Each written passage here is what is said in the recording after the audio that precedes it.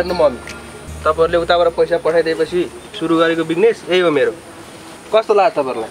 एकदम ठिक गरिस् छोरा धेरै राम्रो उन्नति प्रगति गरेछ। अब गर्दै लानु। होइन? पछि राम्रो हुँदै जान्छ। पैसा पुग्यो भने उताबाट लाखपाले पठाइदिन्छ। मम्मी यतिले मात्रै अलिक नहोला जस्तो छ। सय डेढ सय कुखुराको चल्लाहरू अझै थपेर यसलाई अलिक ठुलो फर्म बनाउनु पर्यो। मेरो छोरा हो नि मेरो छोरा हो नि राम्रो गरिस् गजब गरिस्। हजुरको आशीर्वाद यो शिरमा रहेसम्म। कहिले पनि नराम्रो काम गर्दिनँ मम्मी। फेरि अस्तिको जस्तो केटीको पछि त लाग्दैनस् नि। लाग्दिनँ मम्मी लाग्दिनँ। छोरो ठुलो भएर यत्रो बिजनेस सुरु गर्ने भइसक्यो। हजुर चाहिँ उही पुरानो कुरा गरिबस्नुहुन्छ। इज्जत कमाउनुलाई वर्षौँ लाग्छ। तर इज्जत जानलाई छिनभर पनि लाग्दैन। त्यही भएर डर त लागिहाल्छ नि। मैले सबै कुरा बुझिसकेँ मम्मी। अब मेरो उद्देश्य भनेको यही बिजनेसलाई अगाडि बढाउने मात्रै हो। अनि अनि? के अनि? अब यहीँ गरी खाने एउटा केटी खोज्छु। बिहे गर। यति चाँडै बिहे चाहिँ गर्दिनँ मम्मी। तर गरी खाने खालको चाहिँ को रहेछ? छ एउटा मेरो नजरमा। सायद तँलाई पनि राम्रो लाग्छ होला। मम्मी को हो त्यो? भन्नु न। बिहे गर्दिनँ भने होइन। फेरि किन सोधिस् त? झुट बोल्छस् आमासँग? यसो सोधि हेरेको नि। ल गएँ म। कुखुरालाई चारो हाल्नु छ।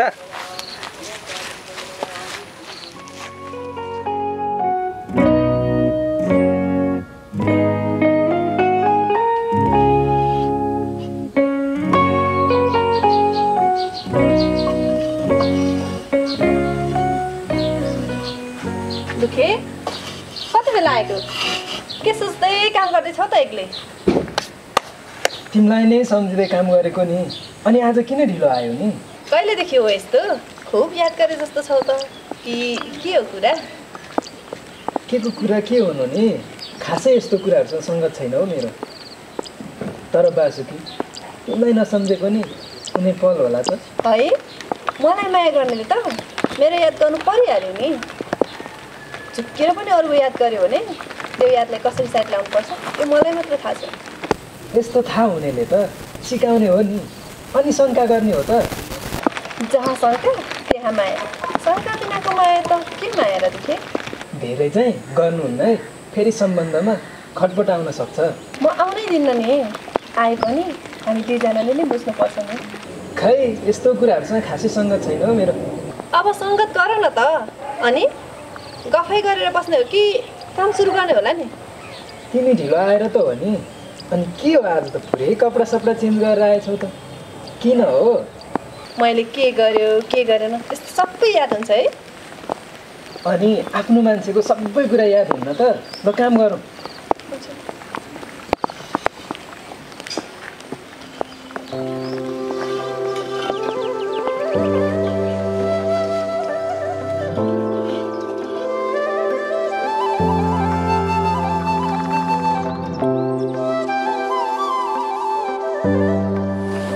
गर्दैछस् हौ ज्याकी। खुब व्यस्त छस् त आजकल हेर राजीव यो कुखुरा फर्मको वरिपरि सबै झारै झार भएको। फेरि सर्पहरू आएर गुडुल्क्यो भने त चल्ला खान्छ नि त त्यही भएर यसो सफा गर्न लागेको। अनि कता लागिस् त तँ? त्यहीँ परसम्म हिँडेको। गाउँको मान्छे सबैजना जम्मा हुनु भनेको छ अरे त सुबेदारले। त जाँदैनस्? जाँदिनँ म। अनि म गएर मेरो बिजनेस चाहिँ यहाँ कसले हेर्छ त? मम्मी जानुभयो कि? ए हो र। अनि कस्तो चल्दैछ तेरो आजकल बिजनेस अहिलेसम्म त ठिकै छ तर एक्लै गर्न चाहिँ साह्रै गाह्रो हुँदो रहेछ केटा। कोही राख्न त काम गर्ने? कि बिहे गर सबै कुरामा साथ मिल्छ? बिहे गरेर चाहिँ बिजनेस सम्हाल्नु कि व्यवहार सम्हाल्नु? त पनि मम्मीले जस्तो कुरो नगर। बरु तँ आएर यसो मलाई बिजनेसमा सहयोग गर। अब हिरो मान्छेले पनि कहाँ यस्तो काम गर्छु त? सक्दिनँ म त। गएँ म।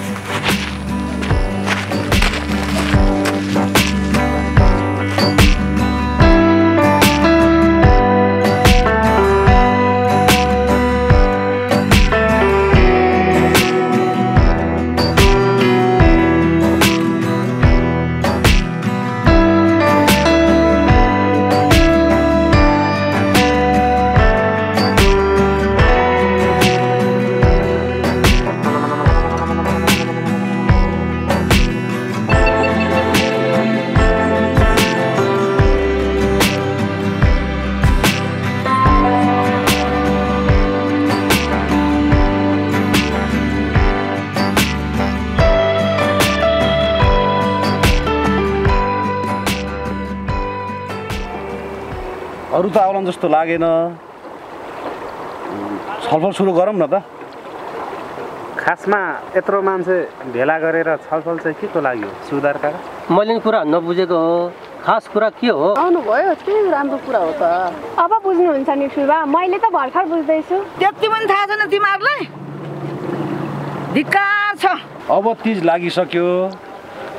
सबैजना मिलेर दर खाने कार्यक्रम गर्ने हो कि? भनेर नि? आफू जे जति हुन्छ त्यति उठाउँ हामी रमाइलो गरौँ न त। ओइ नाच्नुपर्छ है। म त नाच्ने हो। यो त छोरी मान्छेको चाड हो त। हामीलाई के चासो? त्यही त। राजु कुरा ठिकै हो। मसँग त केही पनि छैन। नारीहरूको तिज भनेर पुरुषहरूले खाँदैनन् त। हामी सबै मिलेर बेग्लै शैलीमा पो मनाउने हो कि? तपाईँले भनेको कुरा हामी किन नमान्नु त? म त सहमत छु। वर्ष दिनमा आएको चाड। छिमेकीले मनाएपछि म त मनाउने हो। सबैको सहमति भए ठिकै छ। म मात्रै के अल्टर भन्नु माइला तँसँग नभएर के भयो? हामी छौँ नि। खुर्क छोरीलाई लिएर आइज त। हुन्छ सुविधार। आउँला नि। आइपुग्नु पर्ने चाहिँ कहाँ हो? सुन्नु त आइहालिस है झ्याबहादुर आउँछु त। म नआएर को आउँछ? खाने बानी छ? खाएर झुट बोल्ने बानी छैन। तर आइपुग्नु पर्ने चाहिँ कहाँ कहाँ आइपुग्नु पर्ने चाहिँ कहाँ हो? सबै चाहियो मलाई। सबै चाहियो। छिटो भन्नु पर्यो। छिटो भन्नु पर्यो। सबै चाहियो मलाई। यस्तो कुरा के सुन्ने? जाउँ आफू आफ्नो घरतिर। जानु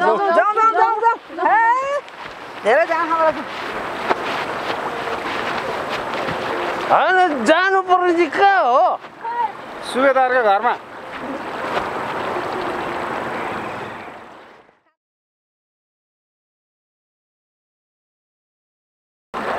मलाई झन्डै बोलाउनु छुट्याएको छ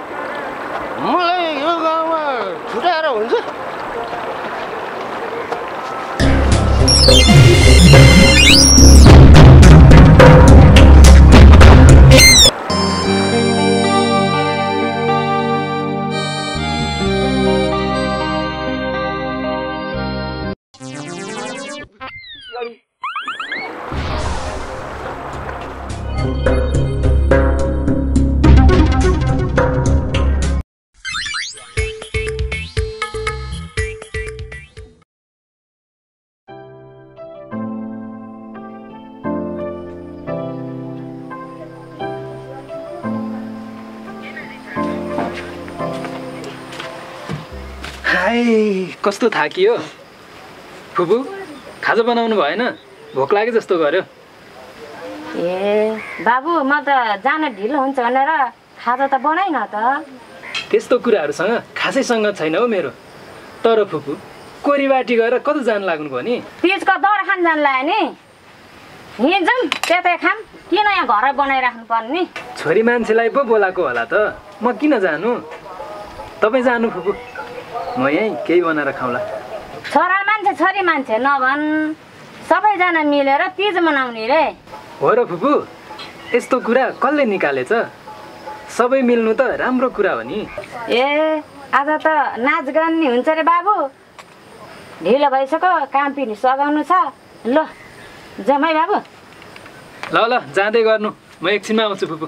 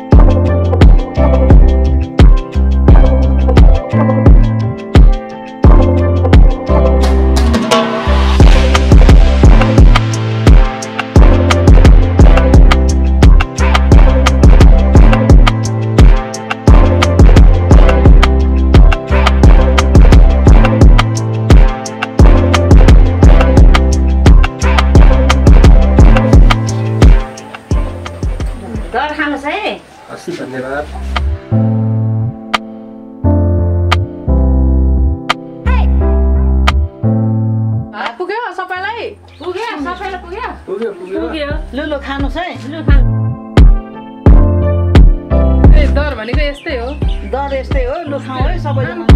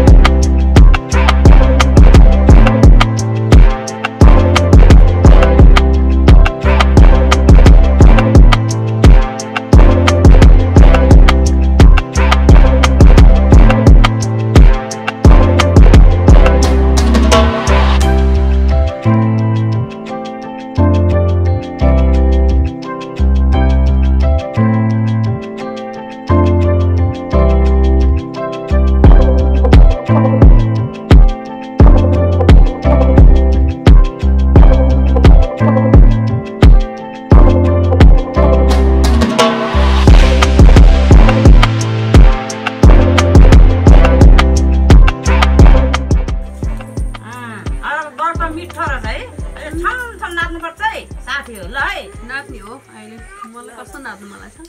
मेरो डान्स देखाउँछु तिमीहरूलाई। ल ल ठिक छ।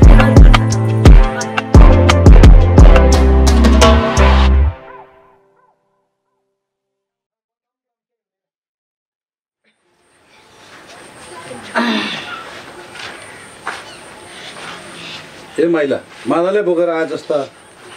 सधैँभरि त्यो गीतमा कति नाच्नु?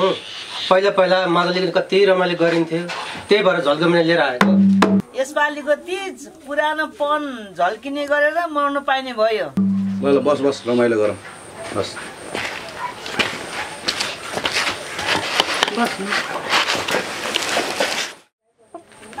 ए लिनु दर खानु ल। यता फुल मजुरले पनि दिनुहोस्। ए। लिनु। दर खानु है नानी लु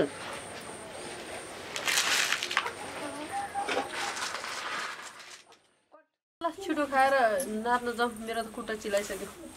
दिलमा एकाकी मादल देख्ने बित्तिकै जवानीको याद आयो क्या आएर त हतार गएको। देखिनस् ए के के चाहियो है तिमीलाई के थपौँ मलाई त पुग्यो। बरु गफ चाहिँ सुन्दैछु। थोरै खाउँ क्यारे फुपू म चाहिँ। बासुकी तिमी चाहिँ गर्दा बस्दैनौ किन चुक्राएर बसेको? केही त बोल।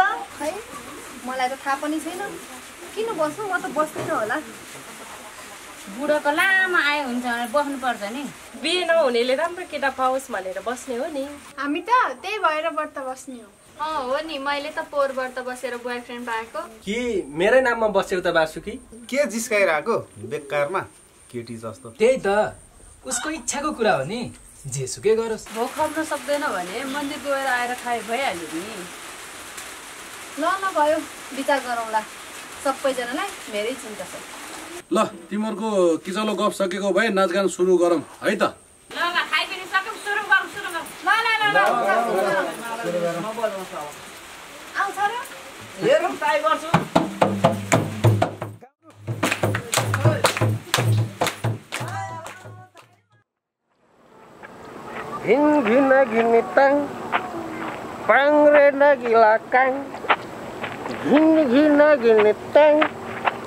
आउँछ र हेरौँ ट्राई गर्छु घिन घिन घिन ताङ पाङ्रे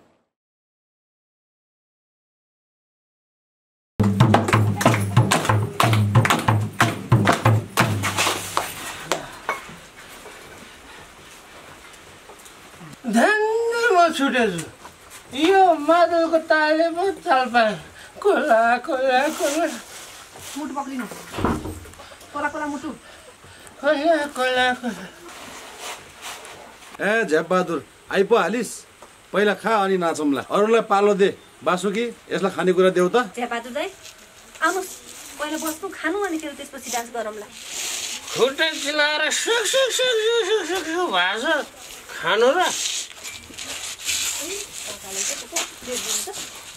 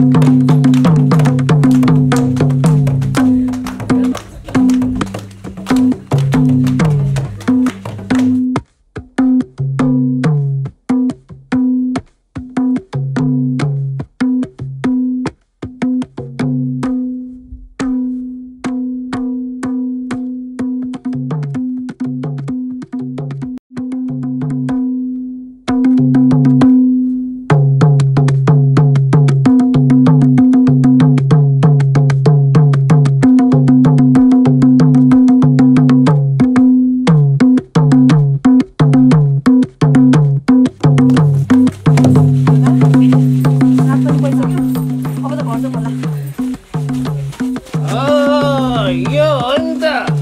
आफ्नो कला संस्कृति भनेको। ठुल्बा किन मलाई सबैजनाले व्रत बस व्रत बस भनेको? मिली मिली जिस्काउँछ नि त। त्यो ज्याकी झन् के भएको? ऊ चम्किन्छ त बा। त्यसरी सानो चित्त गर्नु हुँदैन छोरी। तिनीहरूले त तिमीलाई आफ्नो भनेर त्यसो भनेको त। नत्र त्यसै भन्थे त। खै आफ्नो मानेको भन्नु कि के भन्नु कि? म त बुझ्नै सकिरहेको छैन ठुल्बा। के हो के? छिमेकीको विशेषता भन्यो नि त्यही हो नि। रिस उठ्दा झगडा गर्छन् मर्दा पर्दा साथ दिन्छन्। बिस्तारै बुझ्दैछु ठुल्बा। कति कुरा त बुझ्नै बाँकी छ। समाजमा बसेपछि बुझ्न जरुरी छ छोरी।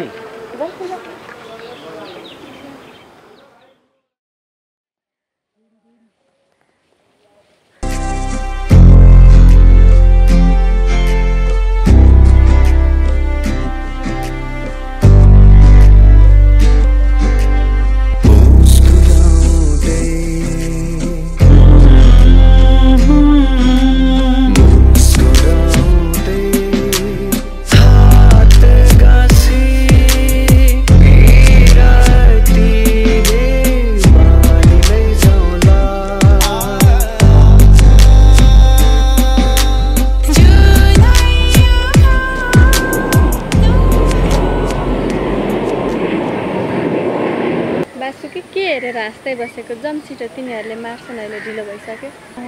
कुरेको कुरे भयो होला उता।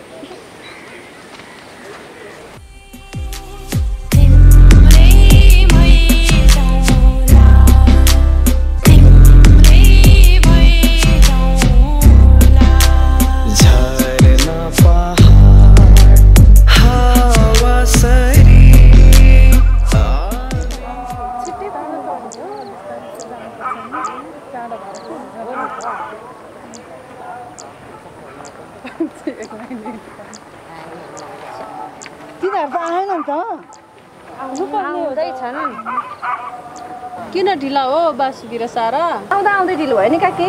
हामी त पर्खिँदा पर्खिँदा यस्तो ढिलो भइसक्यो भने आहा कति राम्रो सुहाएको बाँसे कि? रातो साडीमा फुल्दो रहेछ। अँ तर साडी अलि सस्तो रहेछ। भने भए म ल्याइदिन्थेँ नि। यो चुरा चाहिँ मैले युकेबाट लिएर आएको। यो तिलहरी चाहिँ मेरो श्रीमानले तिजमा गिफ्ट दिएको। इ मेरो नि श्रीमानज्यूले किनिदिनु भएको गिफ्ट राम्रो छैन हेर्नुहोस् त राम्रो छैन मलाई रातो साडी चाहिँ मन पर्दैन के गरौँ गरगहना भनेपछि चाहिँ उहाँले अब लाउँ भनेर कर गरिसिन्छ लाउनै परिहाल्यो वर्ष दिनमा आउने तिज आफूलाई त रातै मनपर्छ रातो भनेको रातै हो मैले त आफैले कमाएर किनेको हो तर साह्रै राम्रो छ। नाच्दाखेरि पनि लरक लरक लर्क हुन्छ हुनेले लाउँछन् दस हाते साडी नहुनेले लाउँछन् बाह्र गाँठा पारी। होइन तिमीहरू के देखासेखा गर्छौ हौ? त्यही त भनेको यसरी अर्काको देखासेखी गर्नुभन्दा नि आफूसँग जे छ त्यसमा पो खुसी हुनुपर्छ त। मन खिन्न पार्ने घोच्ने सुनाउने गर्नुभन्दा पनि बल्ल बल्ल दिदीबहिनी भेट हुँदा आफ्नो दुःख सुखको कुरा सुनासुन गर्ने सुन्ने त्यो गर्दा चाहिँ राम्रो होला बरु। अर्कोचोटि त म पनि गीत माग्नु पर्ला प्यारालाई। ल ल के के माग्ने हो? माग्नुहोस् अब जाऊँ मन्दिरतिर। त्यही त ढिलो भइसक्यो। नाच्नुपर्छ ल जाउँ जाम जाम। यसरी अर्काको देखासेखी गरेर। भन्दा नि बरु हामीले मिलेर तिज मनाउनु पर्छ। आफ्नो संस्कृतिलाई जोगाउनु पर्छ। होइन त? हो नि हो